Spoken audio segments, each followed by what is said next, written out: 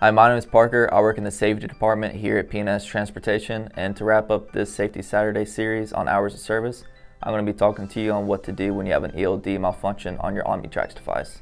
According to FMCSA section code 395.34, the first thing you want to do when you have an ELD malfunction is to let your safety department know immediately.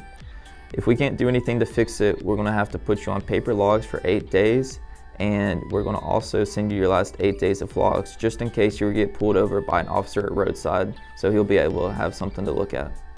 This is why it's important to have eight spare paper logs in your truck at all times.